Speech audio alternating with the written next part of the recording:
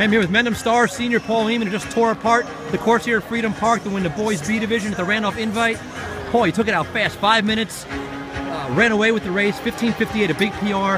Um, you know, take me through the race and your performance. And how do you feel about your time the big PR, like I said, and you know the first race of the season? Uh, I was definitely excited about the season. Uh, summer training went really well, put in a lot of miles. I was feeling really strong. A lot more miles in the past? Uh, about the same miles, just like more like quality work. Okay. I felt like I was doing the runs at a better pace.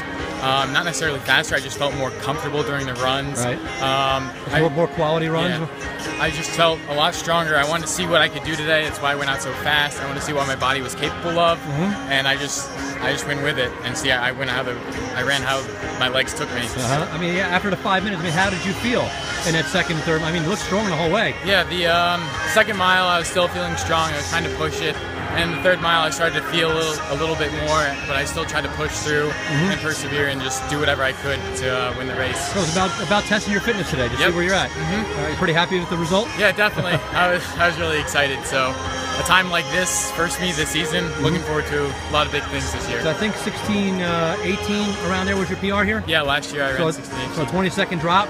Yep, Uh, it's got to make you feel good about what can happen down the road, right? yep. Looking forward to it a lot. What's what's the big target now? You're, you're a senior. You've you've won a lot of things. You've dropped a lot of fast times at Greystone and other parks, other courses.